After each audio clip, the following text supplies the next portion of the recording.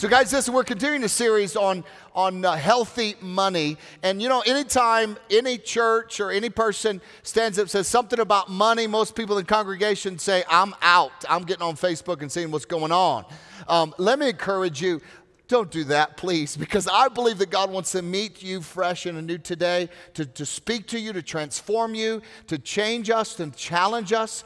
And, and the reality is this for so many years, the church as a whole has gotten a bad rap. Well, the church just wants your money. That is not true, and that's not true here at Faith Bible Chapel at all. What I want as the pastor and the leadership of this church, we want this congregation to be liberated and to be able to access the promises of God that are promised to you through His Word in the area of our finances. And so I just want to encourage you, open your heart today. God's going to challenge you in a way that, that I believe is going to transform you and change you. And here's the deal because I'm a, I'm a pastor and I'm, and I'm a teacher, what that means is I have to teach the whole Bible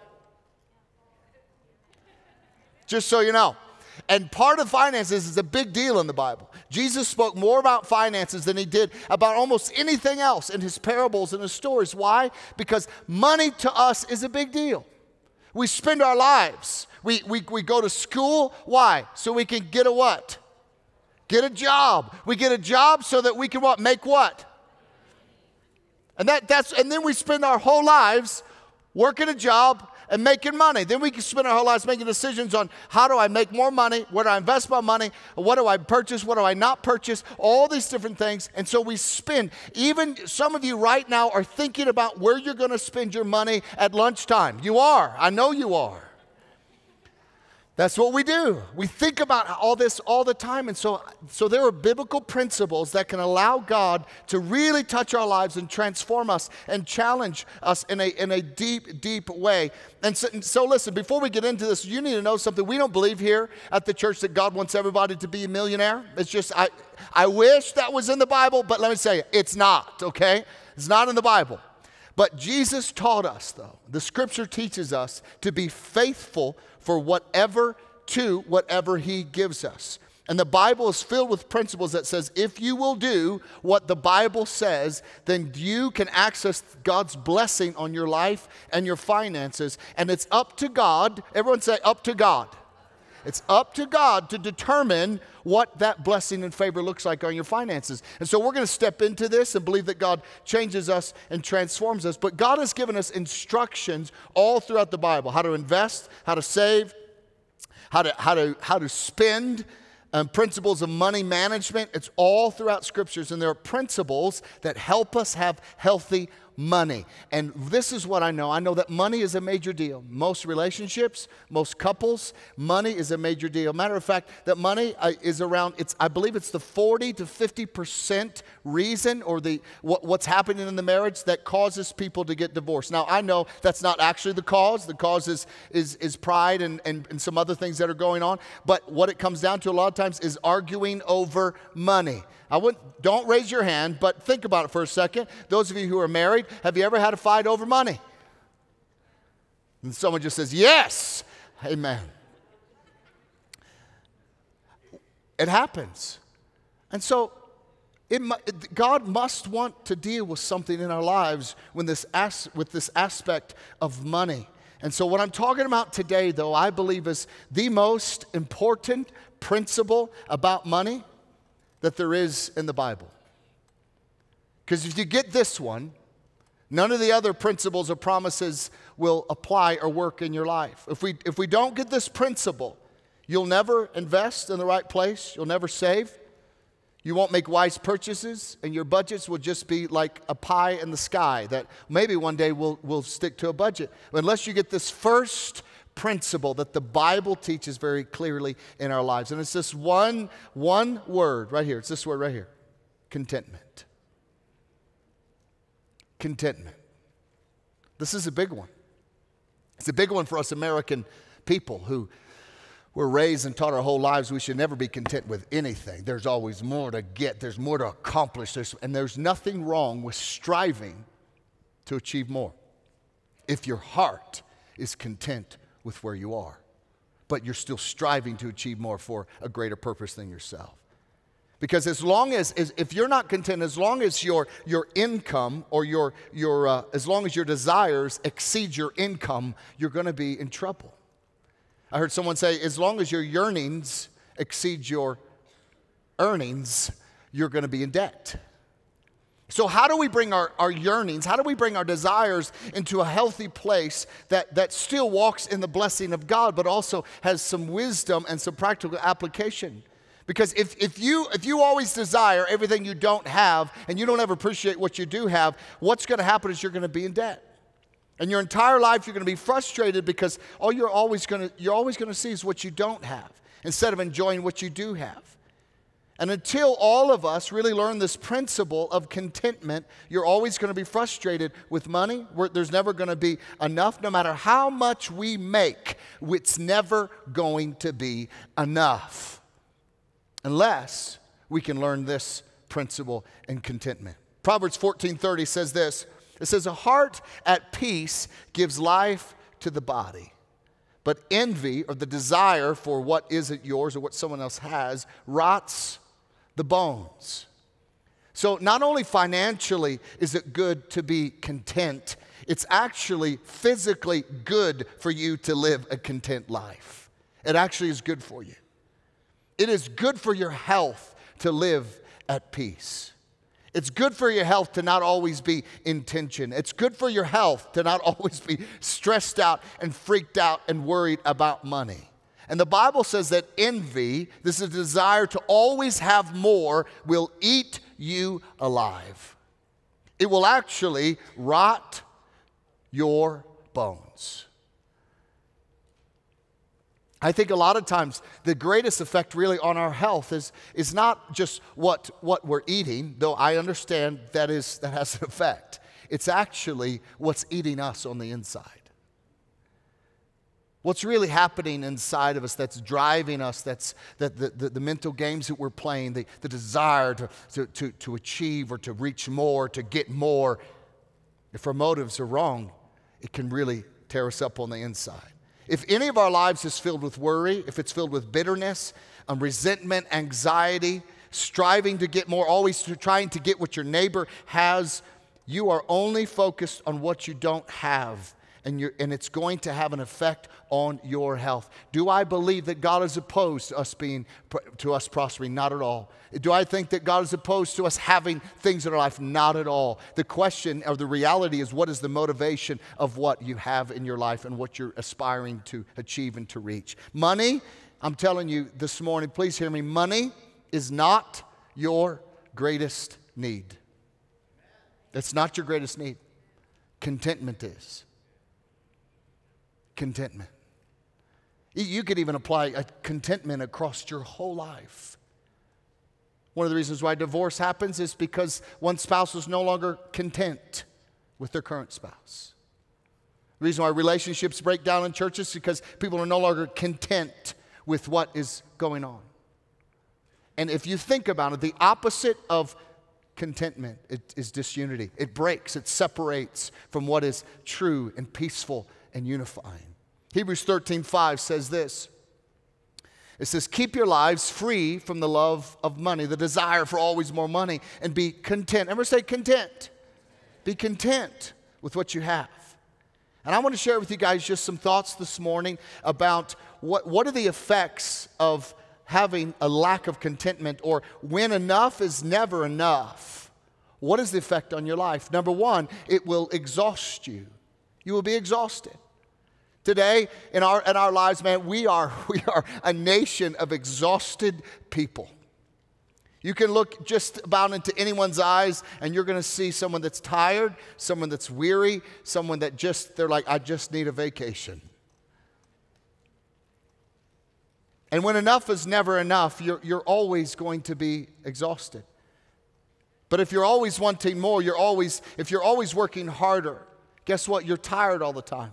And let, let, me just give you a key, just, just from my heart to yours. And I'm, I'm learning and growing in this in my own life, but being tired all the time is, is a symptom of trying to do too much. I know, it's just, whoa, that's crazy. Think about it. It's very simple. Sometimes for me, some of those profound things are the simplest thing. If you are exhausted and tired all the time, it's probably because you're trying to do too much. You're living in a, in a lane that God hasn't asked you to live in. The race to get more, the race to, uh, to achieve more and earn more and, and buy more, I'm telling you, it is robbing families of dads and moms. The desire for a bigger TV, a bigger um, movie package, a bigger house, a, a nicer car, a vacation to this place or to that place. It is robbing families of their family. Robbing, robbing wives from husbands, husbands from wives, and the focus on our lives can become what we're trying to earn instead of building a life of relationships with each other. We are built for relationships, we are not built for money. Amen? I know it's quiet in the room. I'm thinking it's the snow. It might be the message. I don't know. but all of us are dying. Think about it. We're dying of exhaustion for the sake of stuff. Think about that. You're giving up the best of your life for the sake of stuff. I found this quote, I thought it was great. It says, Most people give up their health in the first half of their life in order to get money.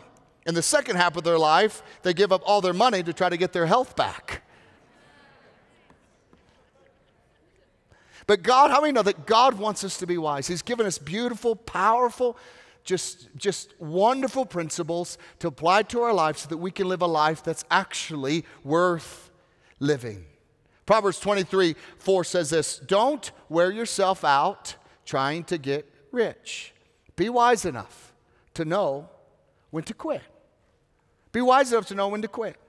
There are things that God's going to release in your life. Some of you, God's going to pour out his, his resources on your life. Why? Because He's built you to do that. He's created you to do that. For some of us, it, maybe it won't be the case. But the reality is, we, whatever it is, we're not to wear ourselves out trying to achieve something. We're to be wise enough to know when to quit, to acknowledge our, our own capacity. There was nothing wrong with saying, time out. That's outside of my lane. That's bigger than the capacity that God's given me. Live in your capacity. Let God bless what you have so that it can be more than what it is instead of always trying to achieve it. So, when enough is never enough, it will, number two, it will also worry you. If you live in this constant state of it's never enough, it's going to worry you. One, you're never going to be satisfied with what you have.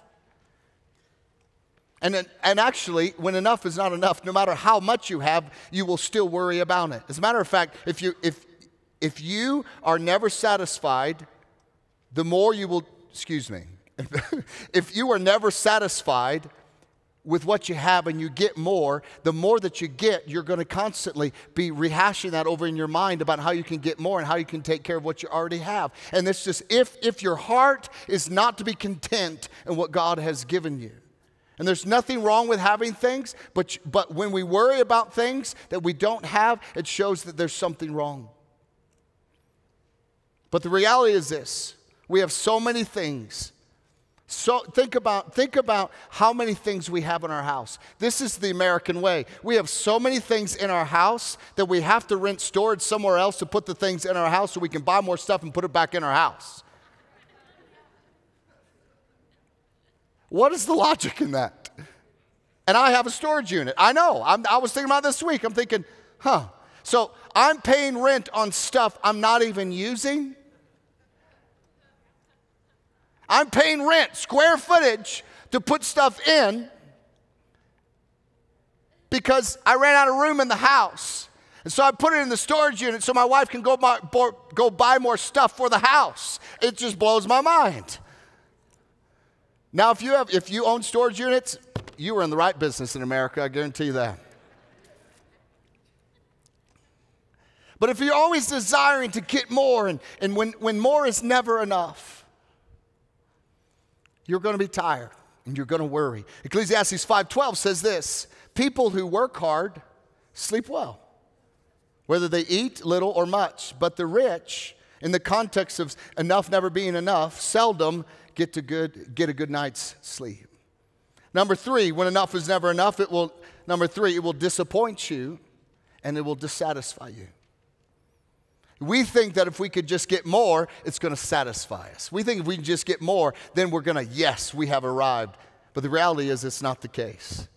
There are many lies that we believe in the area of money. We think that having more will actually make us happy. We think that having more will actually make us secure. Having more will make us more important or make us more loved by other people or get us invited to things that only special people get invited get invited to. But can I just share with you some, some things? None of that is actually true. Now, it's true that you can buy happiness for, for a short period of time. You can roll into a car lot. You can buy a new car. You can sit in the car. You can smell the new car smell. Just, you just feel more confident. You just feel like you've lost 10 pounds and you just bought a car. You didn't even know what happened. And you drive away and you, you feel good. You're like, yeah, I got a new car. And then, and then your, your, your uh, four year old leaves a sippy cup full of milk in the summertime in the back seat. And then you realize it doesn't smell like a new car anymore. And then after a couple more years, you thought, you think, you know what? I wish I could have a new car smell again. And you keep looking, you start looking again. It's this desire for more and for more. Now you can buy it for a season, but it goes away. And you're still paying for what only lasted for like a week. We can't buy happiness. Whether you buy it or not. It's not going to last when it comes to material things. Now, let me ask you guys a question. Um, how many of you are still thrilled with the things you got for Christmas last year? Let me ask you this how many of you can remember what you even got for Christmas last year? That's temporary possessions. We don't even know. It's short term pleasure. And so, what thrilled us last year is not thrilling us this year. So, what do we need? We need more. We need the newer model. Stuff doesn't bring us permanent happiness. There's nothing wrong with stuff. Please hear my heart. Nothing wrong with it. But it doesn't bring us happiness. It doesn't bring us satisfaction. Ecclesiastes 6 9 says this, and I love this translation. It is useless. It is like chasing the wind. It is better to be satisfied with what you have than to be always wanting something else. See, the Bible, the Bible knows how you and I were created. The Bible knows that, that we were not made to live for stuff, stuff. We were made to make a difference in relationships with God and with one another and in the world.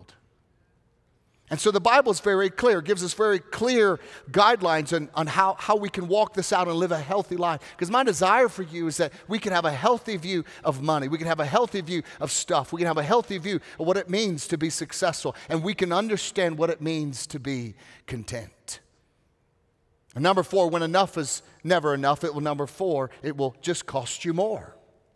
You're always going to spend more. It always costs more to have more. I know it's a very simple truth, but that's just the reality. It brings more expense. There's the old saying if the grass is greener on the, on the other side, remember, someone has to pay to water that grass. And think about this when we were, when we were younger, many of us dreamt of the salary that we now have. And now it's hard to live on. Why? It's because we wanted more. And more became more expensive. And I know many of us, we think, you know, I just don't make enough money. We think we don't make enough, and, and that might be the case for some people, but the truth is, mostly the problem is we just want too much stuff. That's the real problem. We confuse our needs with our wants.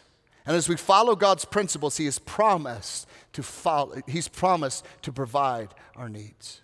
He has promised to meet us where we are. He has promised that if we follow His principle, we, our needs will be met all the time. But many times we get upset with God because our, we think our needs aren't being met, but if we were to step back and look, we would realize actually it's our wants not being met. And now I'm angry at God because He's not doing something that He never promised to do. Philippians 4:19 says this. It says, God shall supply all your needs according to whose riches? His riches in glory by Christ Jesus. This is the promise that God will supply everything that you need for your life. Right here. This is the promise. Either, either the word of God is true or God's a liar. I know it's a harsh statement. Well, Jason, you can't say that. But here's, here's reality. Either this is true, that I believe and if I feel like I am, I am in need in my life, the reality is I have to trust by faith that I must have not needed it. Because if I needed it, God would have given it to me. And I can trust in the goodness of God. I can trust in the care and the tenderness of a father that sees me for who I am. That, that he's not, you know, imagine if you bought your child everything they desired. And when they were standing at the toy, toy aisle and they said, I want that, you're like, okay, I want that, okay, I want that, okay. And so you just walk around all the time. Would you raise mature children? And the answer is no. Now, does that child get mad at the parent for not buying them the little trinket all the time? Yes, they do. But why, why don't they get it for them? Because they don't need it. And so God is, is helping us to see our needs. And He's helping us to understand one, that He is the provider of our needs, and that He wants to meet us where we are. Because when we are not content, it brings us exhaustion, brings us worry, it brings us dissatisfaction, and it always costs us more. But I want to talk to you real quickly about how to walk in the joy of contentment. Number one, how do you walk in the joy of contentment? Is number one, we need to stop playing the comparison game. I believe the whole comparison game is all about trying to achieve a status or trying to reach a certain point in your life or trying to please man. To say, see, I, am as, I'm just as important as you because look at what I have, or look at where I live, or look at what I post on Instagram and Facebook. I'm telling you, there are people who live the most extravagant lives on Facebook or Instagram that in all reality, they're not living extravagant lives. They can look as, as successful as they want to portray everything on, on social media. The reality is, if you dig be beneath the surface, it's not real. But that's what we're confronted with all the time. We think, well, they're successful. That's what I need. I need that to, be, to be, have purpose in my life. But the reality is, that's just not the case. We need to stop the comparison game. God has called you, His hand is on your life. Who you are is who God has made you to be. And let's walk in the lane that God's given us. And let's not spend our lives trying to be like somebody else. Let's spend our lives trying to be like Jesus Christ. That would, that would be the key for your freedom and your deliverance. Galatians 1:10 says this. Paul writes this. He says, Am I now trying to win the approval of human beings or of God? Or am I trying to please people? If I were still trying to please people, I would not be a servant of Christ. Comparison is something, that especially in America, that derails God's plans for our lives because we're seeking after what someone else has versus seeking after what God has for my life. You my friends, are a servant of Jesus Christ. He has called you, He's redeemed you, He's placed His hand on your life. Your joy and your satisfaction is not found in the approval of man, it is found in your obedience to Christ Jesus, following biblical principles and following after Him. That's where your joy is found. Amen? Another key for walking in the joy of, of contentment is number two it's time that we start enjoying what we actually have. Because if you're always comparing, what you have is never enough. Too often we're, we're so busy going after what someone else has or someone else wants that we don't stop and smell the roses ourselves. We don't stop and enjoy what God has given us. We're always seeking and we're always overextending, and, and, and that's, that's just, that's for some reason the trap that we've fallen into. But the reality is this do you know that God wants you to enjoy your life? He created you to enjoy your life. Not just to tolerate your life, not just to, to just deal with your life, but to enjoy your life. Your, me- your life was meant to be enjoyed, not merely endured. A lot of people think God is an old man that doesn't want anyone to laugh or have a good time, or he doesn't have a, a, sense of humor and he just he wants you just to be serious all the time. And, and when you enjoy life, he gets frustrated because you're enjoying life too much. That's, that's not true. God wants you to laugh, He wants you to have fun, He wants you to enjoy what He's given you. God created it all for our enjoyment. God created life for your enjoyment. Think about it for a minute. God created taste buds and then he gave us Chick fil A. It's very obvious. God wants us to enjoy life. God created eardrums so that we can, we, can, we can enjoy music and we can have a worship team that enter, and brings us into the presence of God. There's no single purpose, I don't know if you know this, for music except enjoyment. God created it. God, God gave us eyes so, so we could look at the world that He, he created and gave to us in color. I, I was just in Estes Park this week with my family, and, and I was just looking around and just, I, I'm just, I felt so close to God, thinking, my gosh, you created this and I enjoy it. Uh, my senses are connecting, and, and like only, I, and I'm reminded of the proverb only a fool would say in his heart, There is no God. Why? Because it's God created the world for us to enjoy. He wants you to love your life. He gave us skin so we can feel the touch of others and experience pleasure. It's all for our enjoyment. The snow, the mountains, the sunrise, the sunsets, the beauty is for our enjoyment. God did this for you. Amen? God enjoys giving us stuff and things because He's a generous God and He enjoys watching you enjoy what He has given you. If you want to please God, start enjoying what God's given you. Start thanking God for what He has given you. So many times in our hearts, we're always, you know, I, listen, I grew up and we had, we had beans and cornbread every once in a while. I remember thinking, man, these are the best beans in the world. But some people you think, well, too bad this isn't steak but I guess I'll eat it. Or too bad, well, if you have a steak, you're there, too bad it's not sushi. You have sushi, well, you know, too bad it's not Italian food. You have Italian food, too bad it's not biscuits and gravy from the atrium, that would be better. We're, ne- we're never enjoying what God has put right in front of us. And God says, be content. Be content. Enjoy what's in front of you. Let the words come out of your own mouth. God, thank you for this bean, these beans. Thank you so much for providing for me. Every time when we say, say grace, I say this, Lord, thank you for providing food for our family. It's all we need. Imagine say, God, thank you for providing this food. Next time, can you do a little better? None of us would say that, but we might think it in our hearts. Jesus said that I've come to give you life. What is this? He wants you to enjoy your life. 1 Timothy 6 says this. This is, this is tremendous. God who richly provides us with everything for our what? Enjoyment. So God wants you to enjoy what you have. And learning to enjoy what you have, it's a major piece to our contentment and walking in our contentment. And we must stop wanting and this is this whole, this whole drivenness in all of our hearts. Stop wanting to enjoy what we don't have while missing our opportunity to enjoy what we do have.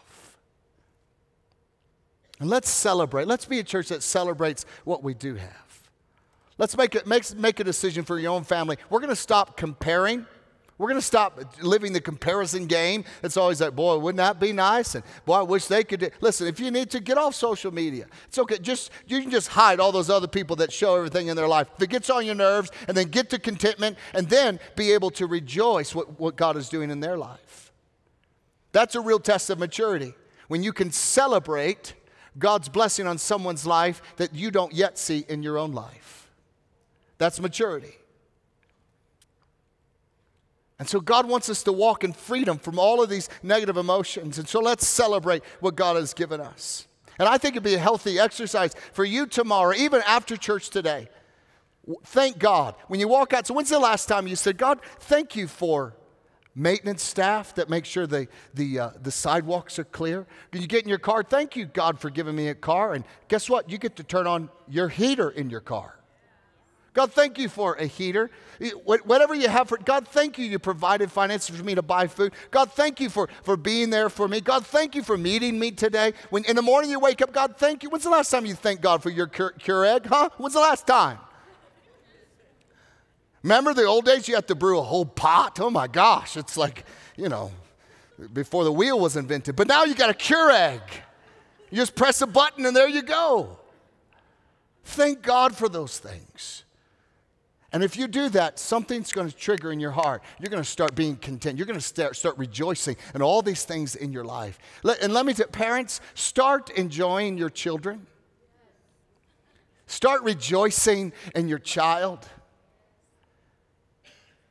Don't just don't in your I can't wait till they get out of my house. No, no, no, no. Now hang on, hang on a second. Enjoy them while they're in your house. Because one day they won't be. Enjoy what God has given you. Number three, do not live for material possessions. This is how you walk in the joy of contentment. Don't live for material possessions. Is there anything wrong with material possessions? Not at all. But Luke 12 15 says this Beware and guard against every kind of greed, every kind of greed.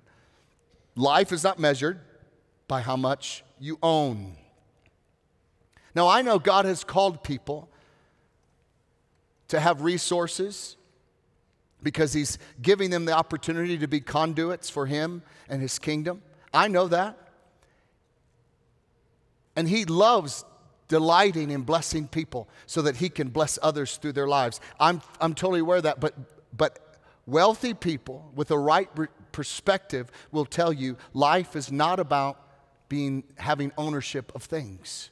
Matter of fact, people that God calls to be conduits of wealth to the church and to the kingdom, if you talk to them, they, they would probably say it's actually a burden and they need God's grace to carry that.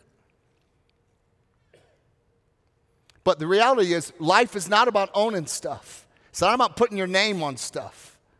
The reality is, is none of us bring anything into the world and none of us are taking anything out of the world. And if we want to make an impact, we cannot make an impact by trying to build a big pile of stuff on this earth. And then we'll have to rent more storage units to put the stuff in. Or I could sell the stuff, or I could give away the stuff to someone who doesn't have it, or I could be a blessing to people because life is not about acquiring stuff. It's not. Life is not about even accomplishment. I'll tell you what it's about. Life is about relationship. It's learning how to love. It's making an impact. It's being a part of God's kingdom through investing into God's kingdom. It's, it's, it's taking a step forward to know God more in my life, which is one of our core purposes. It's taking a step forward to find freedom in areas of my life and building relationships with other people in my life so we can do life together. The purpose is for me to, to discover my purpose. Why did God put me here on this earth? He put me on this earth for a fourth purpose to make a difference with my life, to make a difference with my finances, to make a difference with my money, to not live under the same umbrella or dark cloud as the rest of the world who are clawing to get more. And once they get more, it's never enough. That's not what God has for you. He wants to set you free to be able to enjoy what He's given you. Once you begin to enjoy what He's given you, all of a sudden, and once you begin to be good stewards of what He's given you, all of a sudden you will find that He starts starts to give you more things to enjoy. And the fourth one, the last one, is how do we walk in the joy of contentment? Is this number four, that we would use, or you would use your life for the eternal. You have the opportunity, and I wish, I wish I would be more present of this in my own life as much as I, as much as I, I, I know it matters. But you have the opportunity to live your life in a way that will outlive you. You have, you have an opportunity before you with your investments in your life and with your family, with your children, and with your finances for you to invest in a way that's going to outlive you. And we can build our lives on eternal priorities. We can, we can invest in things that will last forever. Think about this nothing you see today is going to last forever. Nothing. It's going to rust, it's going to wear out, it's going to, it's going to go away. Every possession is temporary. Everything. This building one day will decay. This building one day will rust. This building one day will fall over. The, the trees outside one day will, they will die. They will shrivel. Everything is going to, to vanish. The fact is, the Bible says one day there's going to be a new heaven and a new earth, so everything is going to be gone as we see it now anyway. But when you are content with what you have, when you, when you understand my job is to invest into the eternal, then you realize life and giving is not about a building, it's about what God is able to do in the building, through the building, with people. God's able to reach lost people. Did you guys know that this year, this year alone, and we're coming up the end of the year, that God's used this church, you, to reach and for over 700 people have given their lives to Christ this year? Did you know that? That's, that's called investing into the eternal. Investing into the eternal.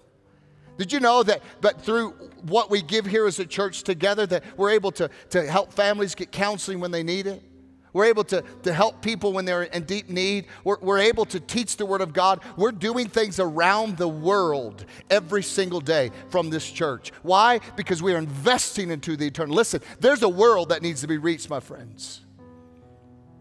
What's so amazing is, is what God has done here at the church, and because of your finances, what you've given. Uh, next month, I, I get the great privilege of, of going to Thailand, and, and they've invited me to part, be a part of the ceremony that I don't, I, I don't really deserve to be a part of, but they asked me to be a part of. And they're, they're committing a Bible that, that has been translated into an Akha language for the first time. And so now the Akha tribes have, a, have an accurate translation of the Bible. And it's through Ajay and Nancy, who have been one of our missionaries for over 25 years. They were able to do that because we are investing into the eternal, because that's going to outlive us. That Bible's going to outlive us. I'm going to be gone, and that's going to be somewhere else in some church, in some village, somewhere else, and a pastor is going to be reading from it. Why? Because you decided to be faithful with your finances and resources and give to a church that you're a part of. And I've shared with you before, there's going to be opportunity. You're going to get to heaven, and people are going to be transformed and saved and in heaven. And you don't know anything about them, but it was because you gave. It's because you were a part of it. It's what allows us to do what God's called us to do. It allows us to have a youth pastor that, that takes care of our, our, our, our, teenagers and our junior hires. It allows us to have a staff for, for children that they get salvations every Sunday, kids who are giving their lives to Jesus Christ. Guys, this is what it's about. People stepping from the, the, the darkness and the pit of hell into the kingdom of light because the gospel of Jesus Christ was able to come forth through this church and touching people all around the world. I want to be a part of that, don't you? Amen? There's only two things that are going to last forever the Word of God and the souls of people. That's it. That's it. This isn't about making anyone feel guilty or feeling bad for, for God blessing your life. Absolutely not. I praise God for His blessing on your life.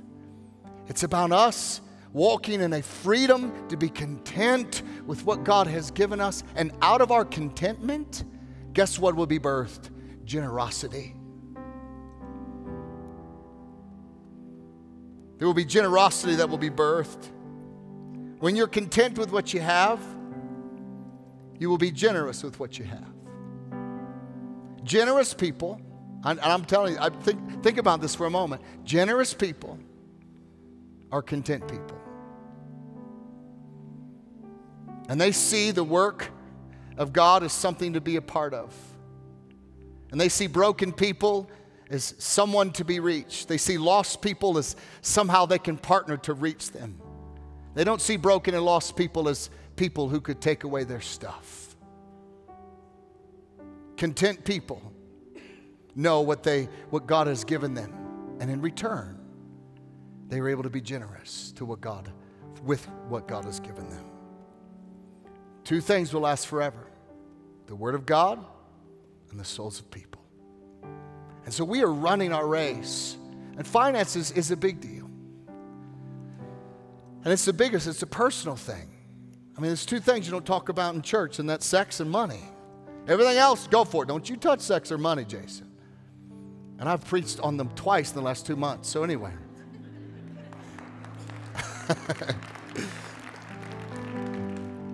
but this is what I know I, I want you guys to walk in the freedom that God has for you. My desire for you is, man, you're going to get to heaven and, and you're, you're going to you're going to be a part of something that was so big you didn't even realize it. I want you to be able to, to, to rejoice and celebrate in what God is doing. I want you to be a part of it, to have a piece of it. Man, I'll take a piece of that.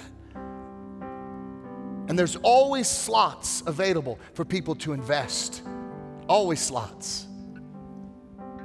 You can get in on the grass, on, on the ground level, grassroots of an investment that's transforming people who don't know Jesus, that's transforming families who are shattered and on the brink of divorce, but God uses the church and Himself to bring them back together. Children who are lost and off the rails, God uses the church to touch them. A lost and broken world, God gives the church creative ideas to serve them. We went out as a church to serve our community, serve day, and we went out and we touched so many people's lives and we served them in the name and in the love of Jesus Christ. I keep hearing people talk about, why did you guys do that? Because we love you.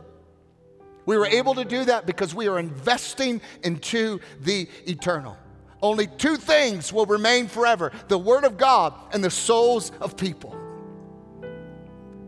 God wants to encourage us to invest into what is eternal.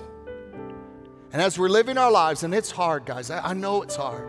And we get so caught up and all kinds of stuff and what we need and we need this before you know it i mean sometimes we buy things and then later we're like why did i buy that because we get caught up in this rat race and the deal is as i've heard about the problem is at the end of the rat race even if you win you're still a rat but we get caught up in this I gotta go, I gotta get, I gotta get. And then we realize, what am I doing? And we've forgotten that our eyes have gotten off of really the true prize and onto something that actually will never satisfy us. I'm going to close with this scripture right here 2 Corinthians chapter 4. We fix our eyes not on what is seen, but on what is unseen, the eternal. Since what is seen is temporary, but what is unseen is eternal. And this is what God is inviting all of us into. That the challenge from Philippians chapter 4, verse 11 reigns true. This came out of Paul's mouth. He said this not that I was ever in need, for I have learned to be content with whatever I have.